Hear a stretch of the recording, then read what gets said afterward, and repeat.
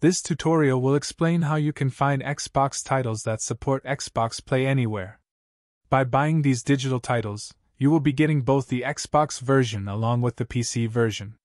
For the first step, you need to open the Microsoft Store on your Xbox.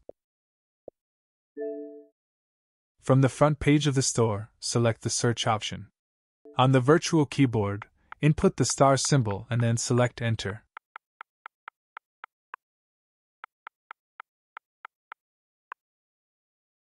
In the search results page, press the X button on the Xbox controller to open the Filter Sort menu. From the Filter tab, select the Play with option. Afterwards, select Xbox Play Anywhere. Next, press the RB button to switch over to the Sort tab. You should then select Title A to Z. When you exit back out, you should see a list of titles that support Xbox Play Anywhere.